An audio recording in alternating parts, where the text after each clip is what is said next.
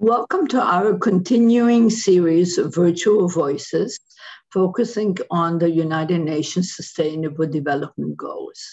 First, I would like to thank you for your letters and comments. We very much appreciate receiving them.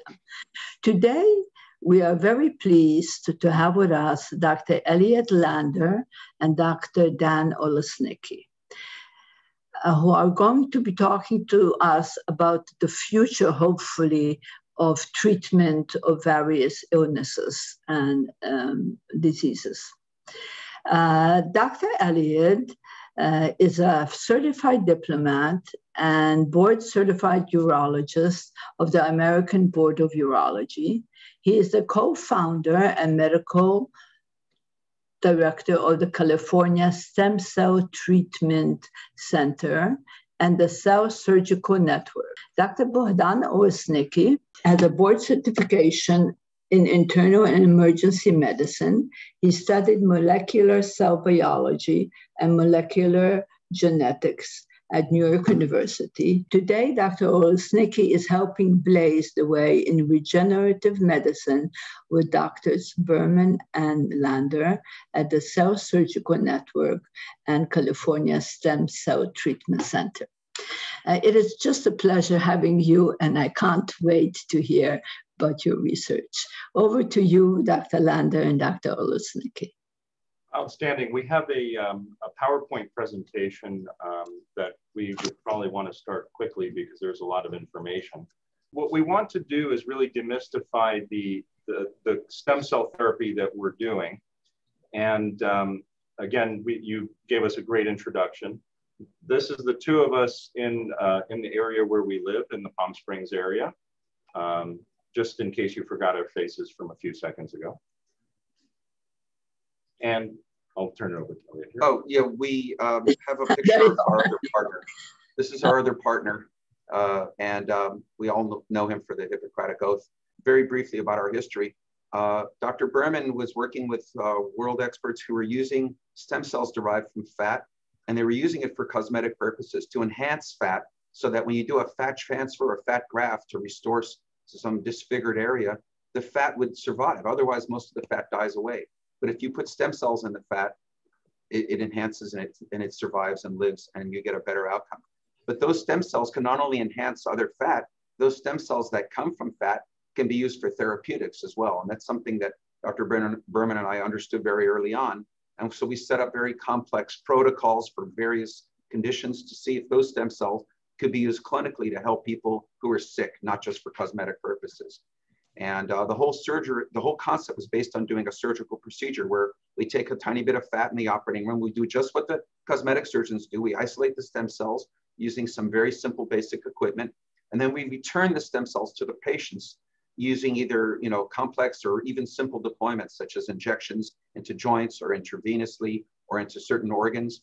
And um, very early on, it became apparent to us that uh, we have something I call lightning in a bottle. It's very, very powerful. It accelerates natural healing. And uh, we've been doing this now for 11 years and on, on thousands of patients. And we have an interesting uh, experience we want to share with you today.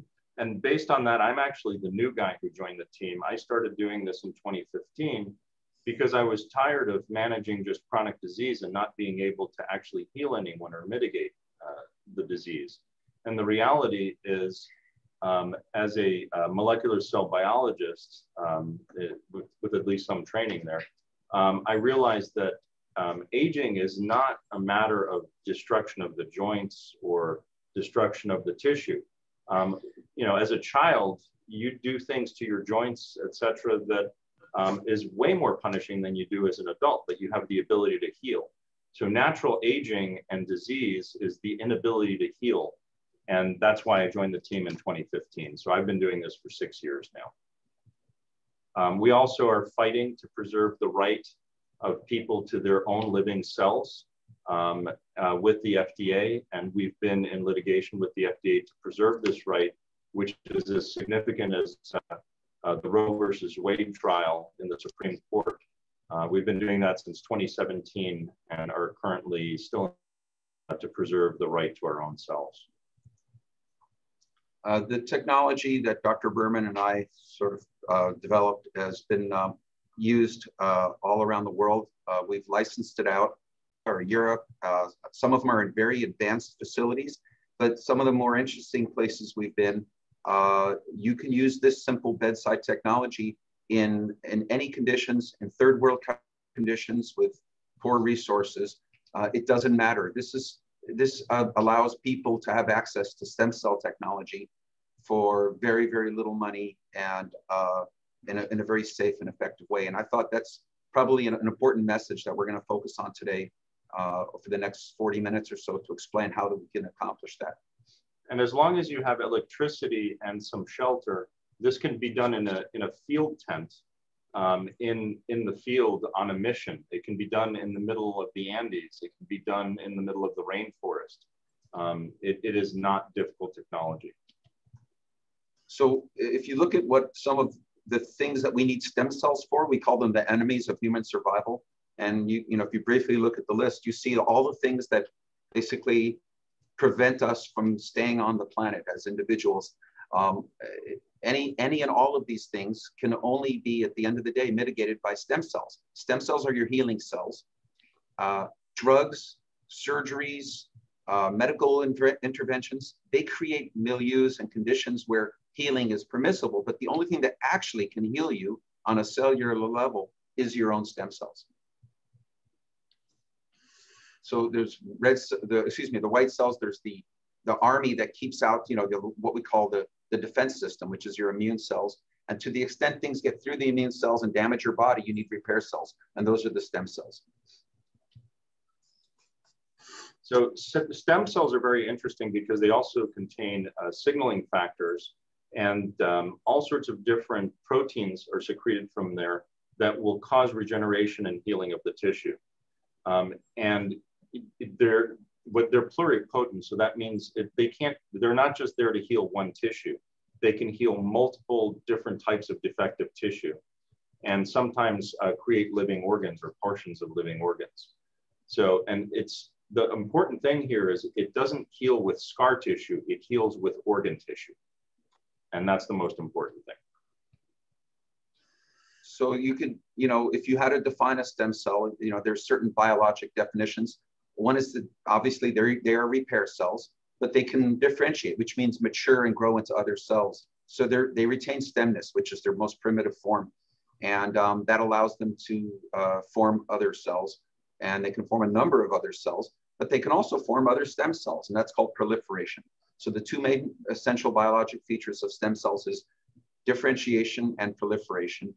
And all of these cells actions are determined by a really complex but really interesting signaling system that uh, Dan, Dr. Olesnicky mentioned just now. It's a combination of um, proteins, you know, protein growth factors, which are peptides, also little pieces of genetic material and, and other things. So it's a really interesting uh, signal system that drives their their uh, you know their function, and they are little repair robots for your body. And the, what you also may have heard of is a term called exosomes. And exosomes just means that they are extracellular uh, messages that, that uh, cells put out. The key thing about stem cells is those exosomes are repair and growth exosomes. They're repair and growth signals.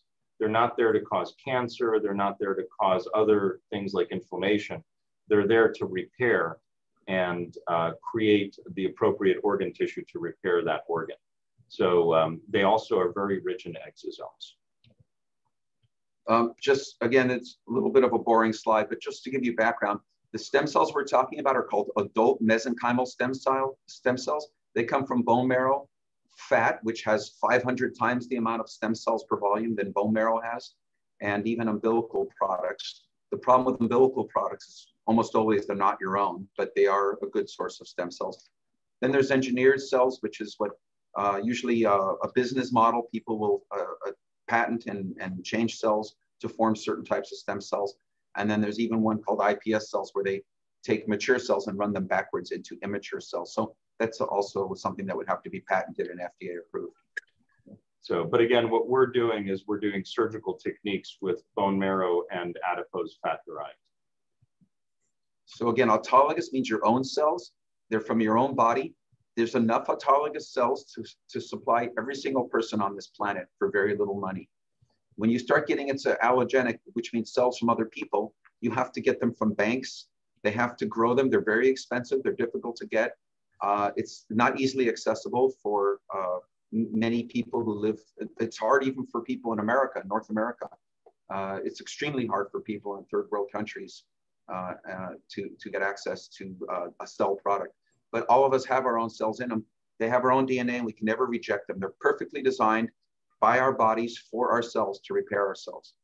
And certainly the allogeneic stem cells that are from other humans, there is a potential for graft versus host reaction. And a certain amount of those people do reject and they do die from the uh, graft versus host reaction. So that's, um, that's another thing to consider. So um, just as we said earlier, this, they sit around, they don't do anything until they get a signal that something is damaged. And then they go to work and they, they work in a few different ways, but one is to fix things. Another is to become new cells. Uh, another is to decrease inflammation.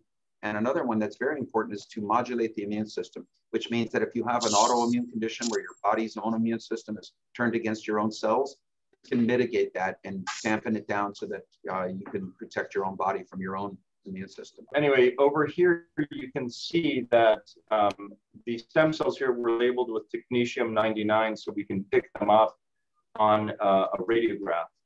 And you'll see that those stem cells move around the body and they go, they go and they home to different areas where repair is needed or there is damage. So they're smarter than we are as physicians. And they, we still can't explain how they know to go where they need to go. But that is for researchers to figure out over years. But they are alive, they are your cells, and they're smarter than anyone. Yeah, they move to where they need to. Yeah. Um, well, that is so amazing. Just the overview of our project, which is what's different than almost everyone else who's interested in stem cells, is we don't want, we're not looking for a drug model. What we're looking to do is just take each patient and surgically transfer stem cells from their own fat, which has the most stem cells per body volume, and take those stem cells, isolate them from the fat, and then move them around the body to another part of the body to help that part heal. It's a completely different model. It's a physician's model of taking care of patients rather than a business model of drug production. Oh, So, and it's no different than any other organ transplant. It's just smaller. Uh, what we call this, the stem cells from fat is stromal-vascular fraction. It's the part of your fat that has stem cells. Uh, we use an enzyme uh, called collagenase, which is something that breaks down the connective tissue to release the stem cells, so it liberates them. And uh, what's left over doesn't have any fat in it. What we're giving patients back is the cells, but not the fat. Uh, sometimes we call stromal-vascular fraction the orchestra because there's actually at least four different types of stem cells in there, along with another uh, group, many other groups of cells that help form blood vessels and fight infection and support your immune system and things like that. The body has evolved to do this on its own rather than us picking one small part of it. This is a more complete solution to healing. So the concept behind what we're trying to accomplish is what the military would call a surge. A surge is a concentration of, of, of resources into a small place over a small period of time. Your stem cells come out of your bone marrow a little at a time all day long looking for problems. But if we can get a, a huge volume of them from your fat and inject that into a damaged area, then we've created a surge. We'll show you in the next slide. So the idea is a, a dripping faucet versus a water hose. The water hose, so we're, we're making cells available to you that were, that were locked in the collagen matrix. So they weren't available to you before unless there was some local damage. And we are able to use them systemically now for other parts of your body. And that drip gets less and less as we age, which is why we age and we are unable to heal. So this is catching on. This is not something we're just doing in Southern California. Uh, the technology Dr. Berman and I developed is, um, you know, we have well over 150 clinics around the world that are currently using this for their patients. And we've authored quite a few papers on the science behind stromal vascular fraction. So there's a lot of safety data supporting it. Uh, it's actually incredibly safe. Uh, we really haven't had any serious problems. And then, um, you know, it seems like we're able to use it for more and more things. We're trying it for many different conditions. And we're learning as we go.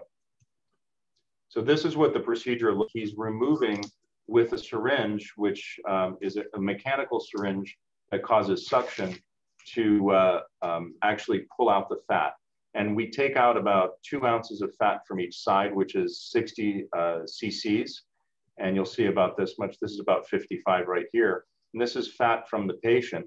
Under local, we use local anesthetic. This is not done in the operating room per se. This can be done in the field. It's all done under local anesthetic. Using collagenase and uh, centrifugation, as well as incubation, it is with these very simple instruments, um, it is actually isolated as far as the stem cells and the stromovascular fraction. Uh, we won't bore you with the exact technique, but it takes about an hour and a half to do so. You can see that we're, um, we're putting in uh, the collagenase and we're using it essentially as an enzymatic scalpel. Um, the holy grail for medicine moving it into the 21st and the 22nd century is to um, decrease patient risk, have surgeries um, and medical procedures um, less invasive, and uh, work on a smaller level rather than using um, a, a, big hammer.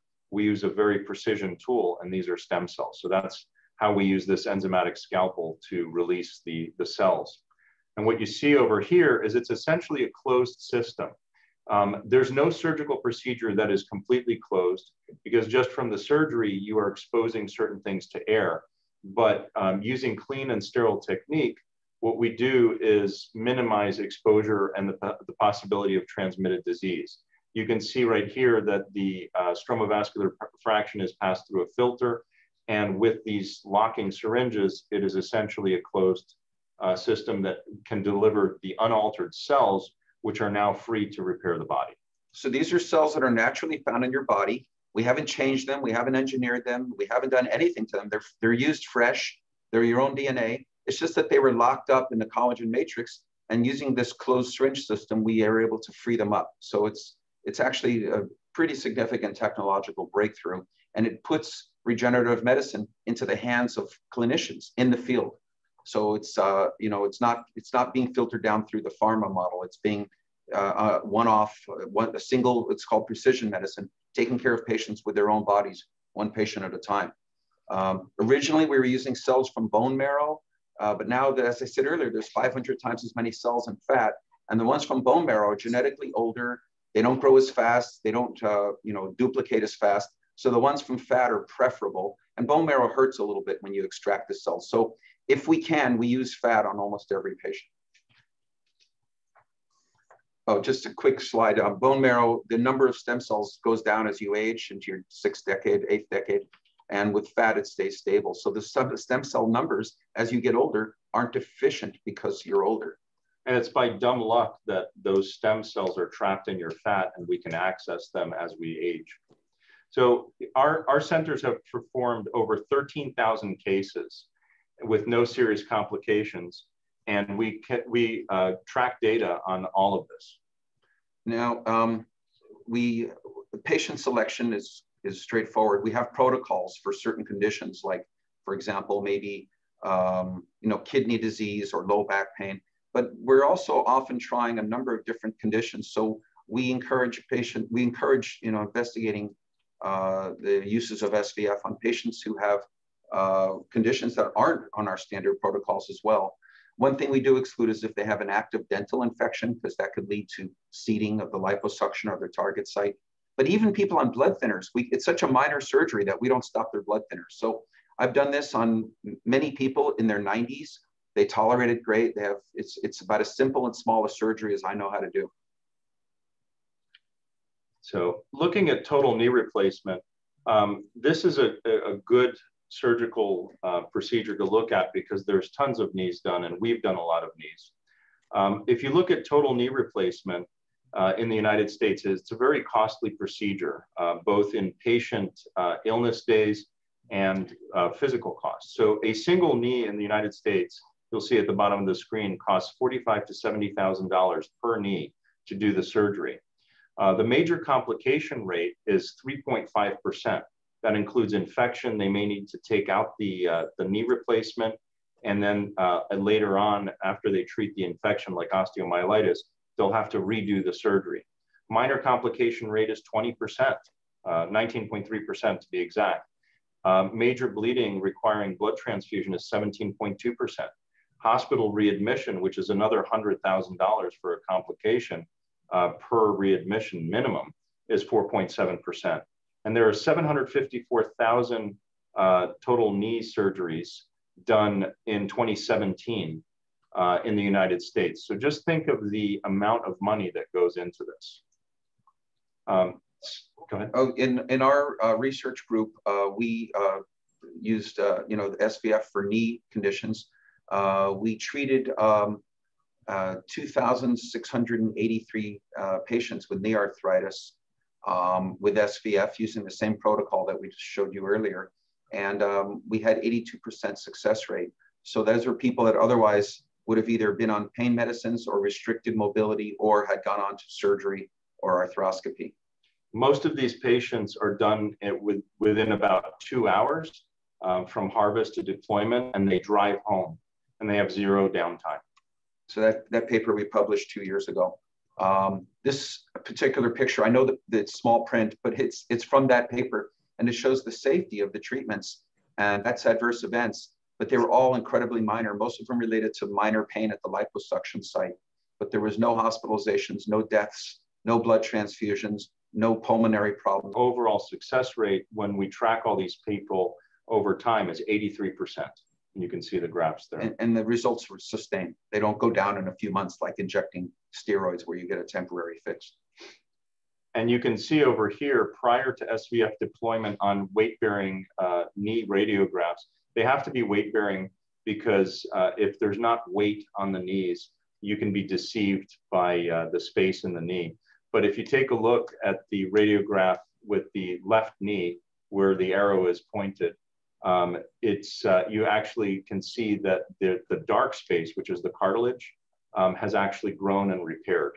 So you went from bone on bone to actually having some articulation in that joint. And uh, that patient, patient four months later is pain-free. We also give intravenous uh, holistic treatment with every, if you come in just for a knee or a hip, you still get an intravenous infusion because the cells are so smart, they home into wherever there's damage. So they may go to other parts of that joint or they may go to other parts of the body and uh, help try to, you know, repair things that may be also uh, damaged in some way or degenerated. And you never know what you're going to get. Apparently, um, after I started doing stem cells for myself, uh, my friends told me that my hair grew back and back. So uh, I didn't expect that, didn't do it for hair, but you never know where it's going to go and repair. I guess my, my, my stem cells thought my hair was a problem. So. Um, we also one of the you know we, we've tackled so many different conditions but we use knees and as an example we also want to talk about low back pain because that is so common. Uh, you know we looked in the literature it's always in the top 10 of diseases and injuries that account for the most disability and based on worldwide statistics. Um, if you look in industrialized countries uh, the lifetime prevalence of low back pain is almost two-thirds of people and it's about 5% per year. And uh, a lot of those people wind up having surgeries. Usually it's a lumbar fusion, which costs $26,000 per level. They never do one level. It's usually between one and five levels. You know, so this is a very expensive thing to fix and it hits most people. Now, my wife recently had a C2 to T2 fusion. So that's an eight level fusion. And by the time the hospitalization, the surgery was done, that was $365,000 uh, just to give you an idea. This is from our database. We have a database with all of the, you know, 13,000 plus patients we've treated. So when you uh, query the database and ask for cervical spine success rates, uh, it's 85% and lumbar 76.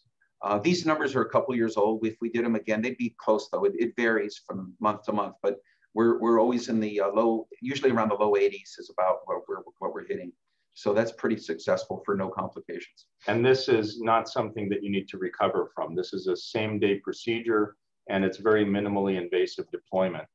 Yeah, needle based radiographic guided deployments. That's a back injection. So there's also neurodegenerative diseases that uh, we treat. And again, when you look at these diseases in this list, um, most of these are uh, terminal diseases um, Bell's palsy is more cosmetic than anything else, but it, it causes a lot of um, annoyance and suffering to people because they can't close their eyelids and you get uh, eye desiccation and, and you look like you've had a stroke, but people are very uh, self-conscious. But certainly ALS, spinal cord injuries, stroke, Alzheimer's, uh, muscular dystrophy, multiple sclerosis, Parkinson's, th those are uh, regarded as terminal diseases and peripheral neuropathy is horrible. Um, just for one example on the list, um, we did a, uh, a, side project with a group of neurosurgeons at a local hospital uh, to inject stromal fraction into the ventricles of the brain. The ventricles are the fluid-filled central area of the brain, the, the inside of the brain. Uh, they make all the fluid that surrounds the brain and the spinal cord. It's called the cerebral spinal fluid. We inject directly through the skull into that uh, using a neurosurgical device, uh, directly into the ventricles. And we did it as sort of a you know investigational project on people who were basically had uh, you know life-threatening conditions. We treated 10 Alzheimer's dementia patients. Uh, as I'm sure you're aware, Alzheimer's is extremely common. One out of nine people get some level of uh, dementia.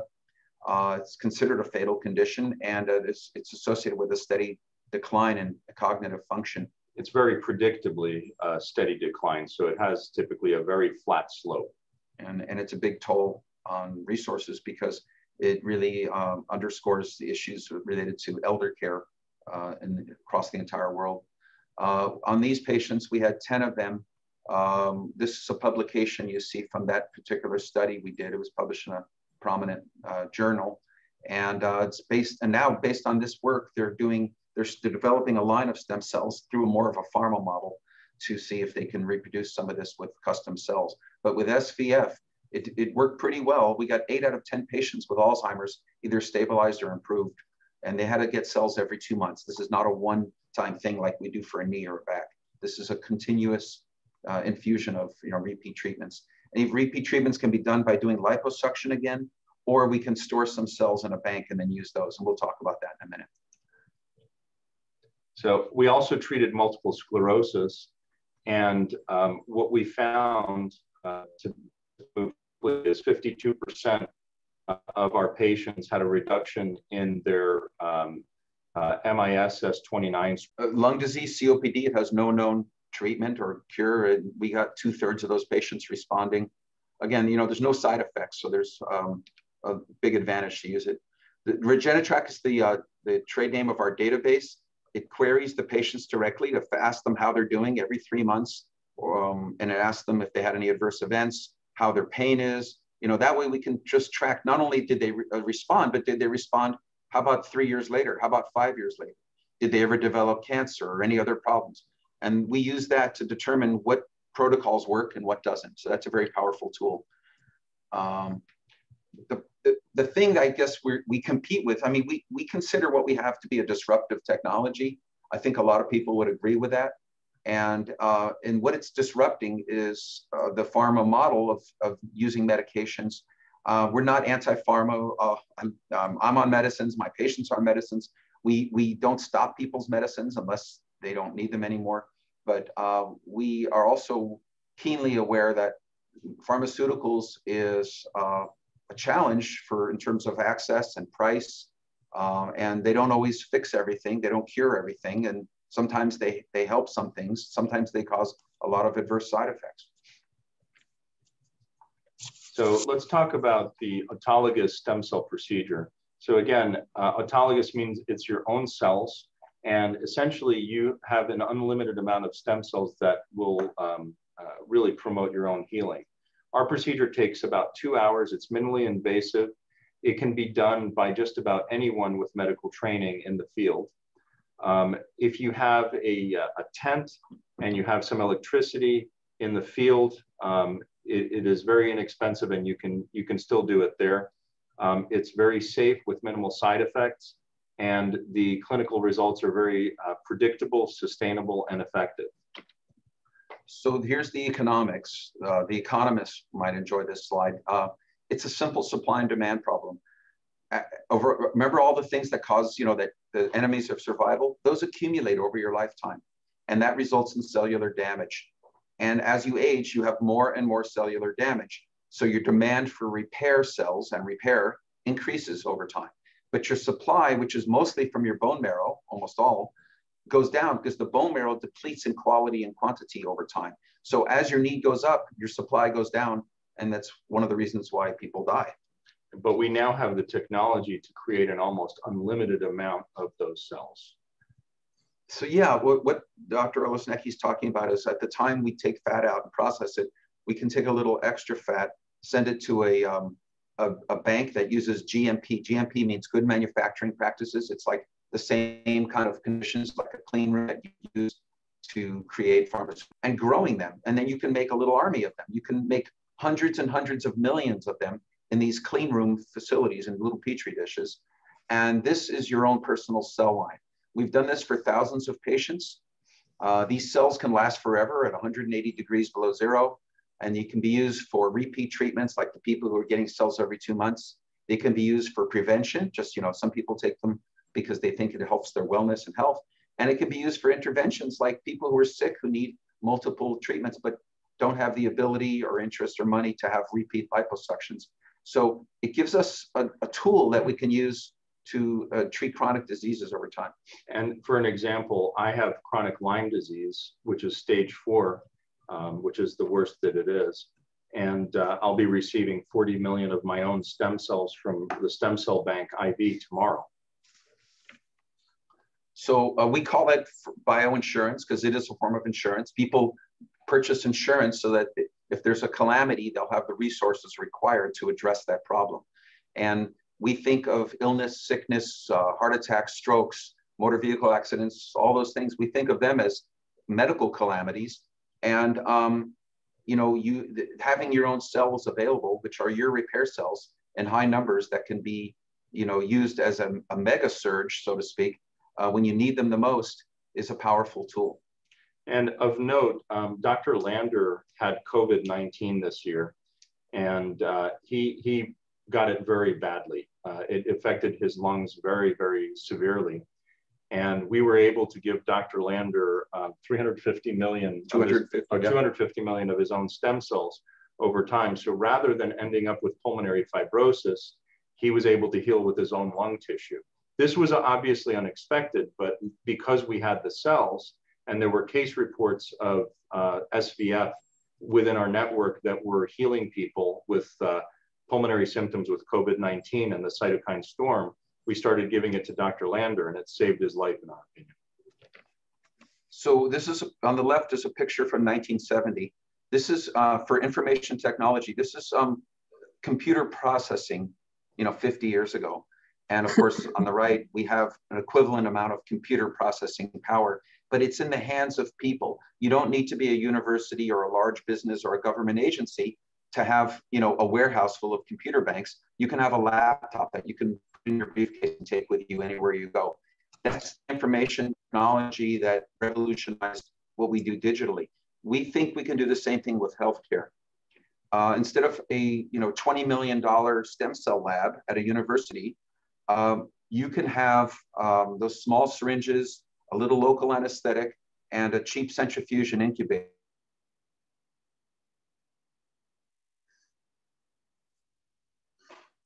create high numbers of fresh, healthy stem cells that perfectly match your body. Um, and what you get from the lab will never be, almost never be from your own body. It would never be, it would never be as good because it's not your DNA. So what we have is even better now because not only is it cheap, portable, easily accessible, easy to use, easy to train, um, you know, easy to to to transport. It's uh, it's just it's it's I think it's the wave of the future in terms of uh, a medical technology. Now, will there be cells that are come from pharma in terms of specialized cells that are patented and engineered and used for certain purposes? Absolutely. But they'll always be expensive. They'll always be relatively inaccessible to large segments of the population. And that's why we think this is important to talk to your group about today, because I think the UN is really interested in looking at solutions for people who don't have access to the the best resources all the time. And you know, th- this maybe could be part of that solution. So um, the, again, we want to really get everyone here to think differently. There's a paradigm shift, um, the way we need to think about aging and disease. So aging and disease is an inability to heal more so than uh, just wear and tear. Uh, loss of stem cells will lead to degeneration and disease. And our stem cells are as vital to our existence as food and water. We just haven't been thinking on that small level. Um, the, the healing technology that's always been in our body, um, by dumb luck, just happens to be stored in your fat. And it can be easily accessed and harnessed with very simple technology. And it is very cost effective and scalable. Right now, it costs more than, than we hope in the future because we're doing it on a very small level. As uh, we scale and we have um, uh, really a, a larger amount of people doing this, the cost per treatment will, will actually be decreased. And that's about it. Um, see, it's in the slideshow. That is absolutely, absolutely wonderful presentation. It is, uh, I just been glued to your screen and I'm so very happy that you were able to come um, because we are really trying uh, to bring as much information as possible, especially uh, to the UN and the diplomats uh, that uh, are interested in that. And our own interns who we uh, have from pretty much many parts of the world. Uh, so here I have a bunch of questions. Um, and the first question is um, at what level artificial intelligence what? At what level is artificial intelligence implemented into the medicine? Artificial intelligence is actually um, now starting to work with medicine. We work with um, a, uh, a number of we work with one very large radiology group that is uh, uh, the four, four, one of the forerunners in artificial intelligence working with the original google team. Um, we're also working on creating other artificial intelligent databases based on regenerative medicine. And that's, uh, it's still in its infancy. Um, but again, this is stuff we need to build from the ground up because um, pharma is not doing that. Uh, we're trying to use AI to bring it to the people around the globe. And we're calling other people to help us. What foundations around the world use stem cells to treat newborns? and are they used at all with this population? So they really, um, most of our experiences with adults um, with injuries and disease, newborns do have quite a bit of stem cells uh, to begin with, but um, that is something that is um, really hasn't been done very much.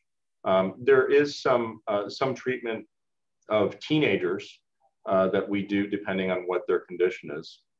There's also a lot of data out of um, Israel and around the world that's showing promise uh, with stem cells being given for um, autism. Um, and uh, there's uh, that's still being studied, but there is emerging data uh, in, in, the pediatric literature, especially on autism. So we're excited to see what else is going to be studied. But personally, Elliot and I focus mostly on adults.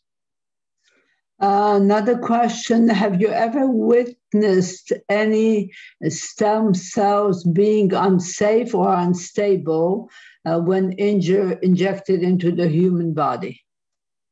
So that's a very common question, and that's been very well studied.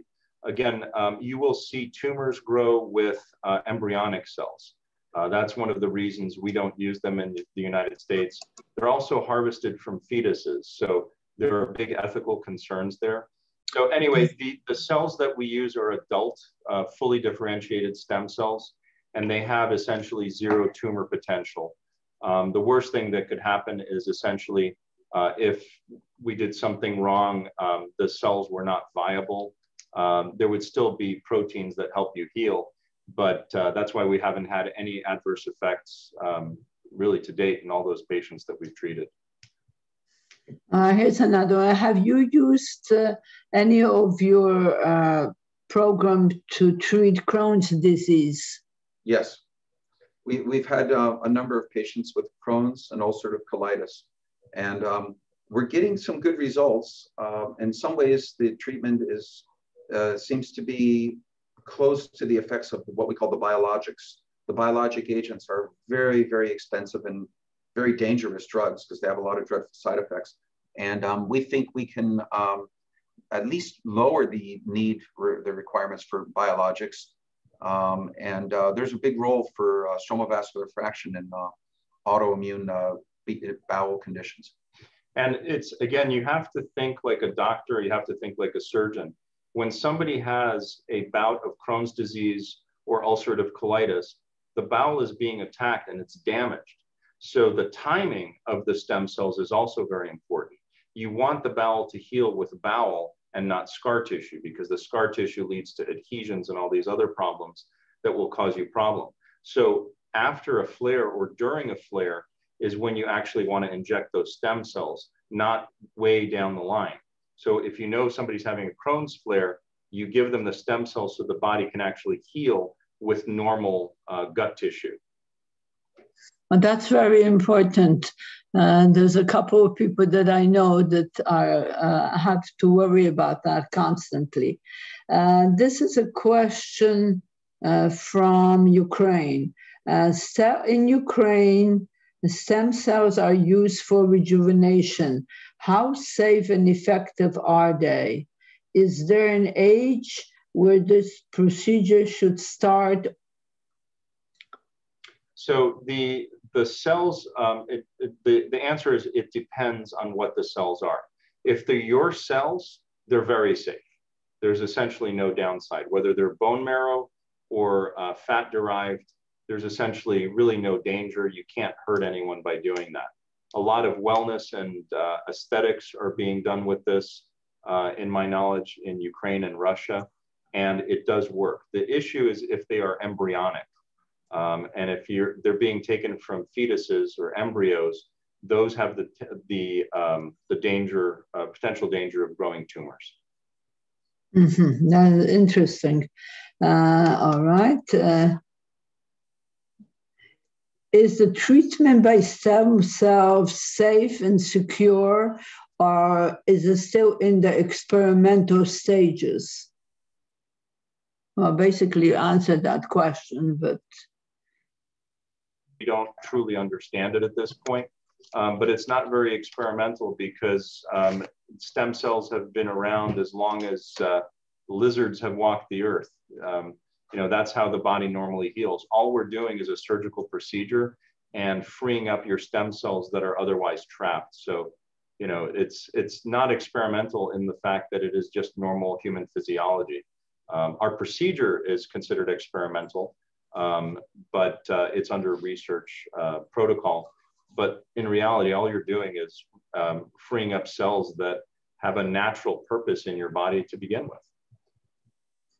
Well, uh, I completely agree with you that uh, your research and your uh, uh, clinical work is absolutely amazing it you seem to be covering so many of the uh, how to say the aging problems and the utilization of one's own ability to be able to heal it reminds me of one of the star trek episodes. Absolutely Uh, so here is a, here is another, but this is a, a, thank you for a wonderful presentation.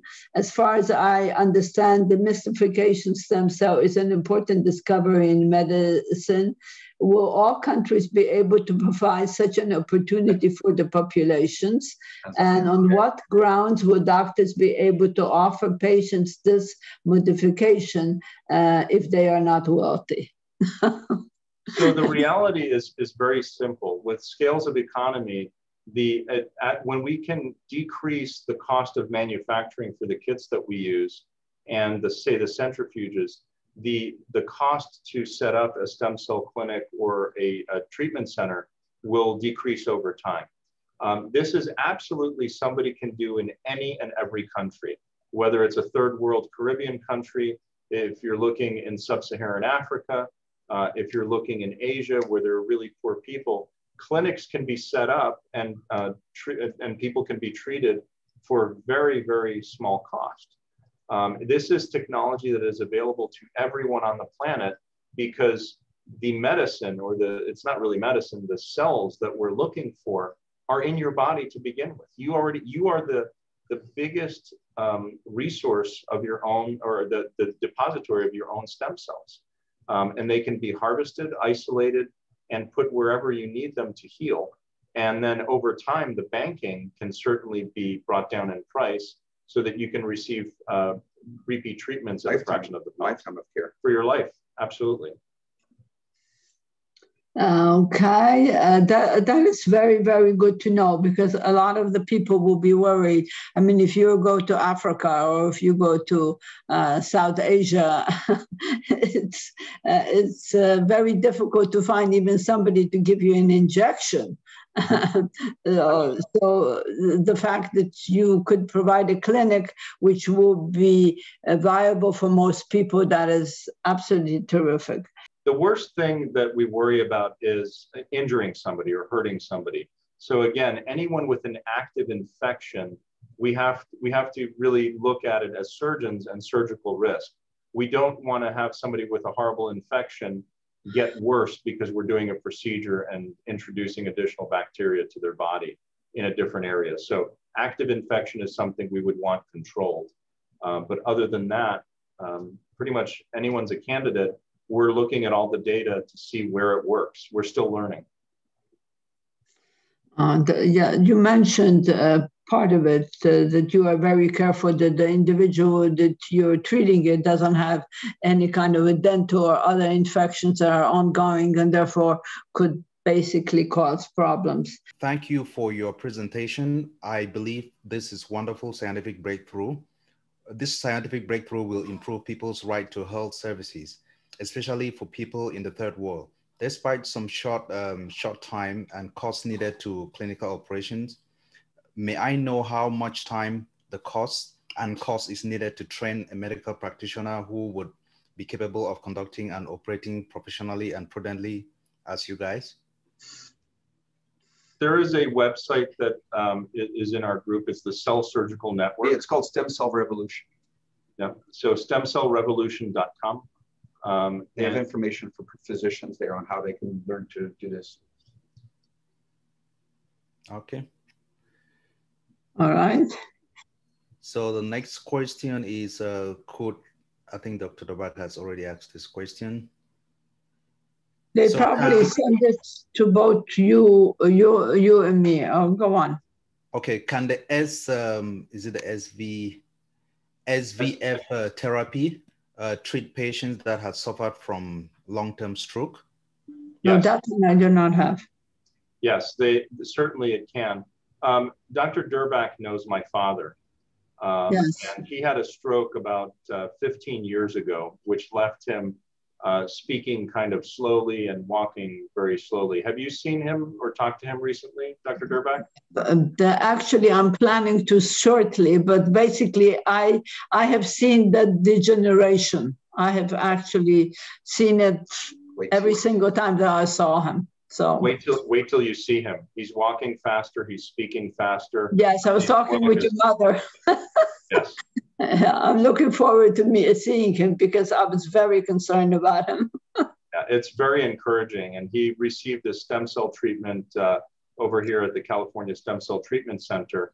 And eight weeks later, he was walking more like a normal human being. He had a very short, shuffling gait, and that's 15 years. We didn't expect that really to uh, to change, but obviously there was. Uh, it doesn't look like he had scar in that area, but he uh, had a lack of stem cells and um, it, much to our surprise, uh, he's greatly improved. Even 15 years out, we couldn't believe it. You never know. I think that's absolutely marvelous. I, I can't wait uh, to see him and to, uh, and to be able to uh, to show the to see the improvement. It will be just terrific. I'll see him next week. Um, but, so but I, realistically, after a stroke or a heart attack or any kind of trauma or injury, broken bones, you want to time the stem cells very quickly after the injury or the incident so that the organs heal with the right tissue. So heart, you want to heal with heal with heart tissue, not scar tissue. And same thing with brain or bone or what have you. Okay, great. Have you, interesting, have you done any uh, research or any uh, study with uh, cancer patients? We have. Um, there, um, you can actually go to the uh, um, Stem Cell Revolution website and look at mm-hmm. our publications, and uh, you'll see some studies that we did on um, on cancer. One last question that I wanted to ask the doctors, uh, which came in and I thought it was very important based on what they had uh, just uh, said. Could the SVF uh, procedure be used for autoimmune disease, such as rheumatoid yes. arthritis? If so, is there a database with a list of clinics that perform this uh, technology and where patients can sign up? Mm-hmm. The, the answer is absolutely. We treat autoimmune diseases of different types all the time.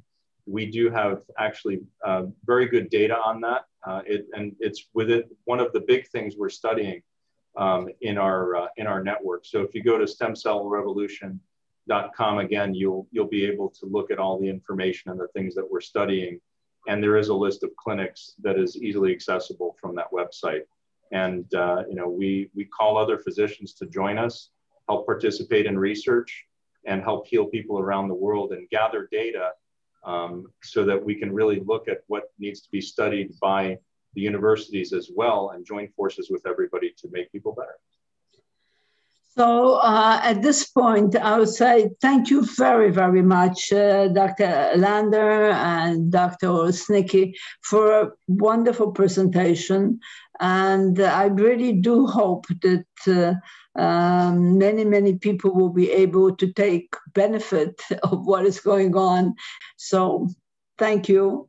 And um, I'm grateful that you were able to be with us. And I also wish you a wonderful day and hope to see you soon. Take care. Thank you for the opportunity. Bye bye.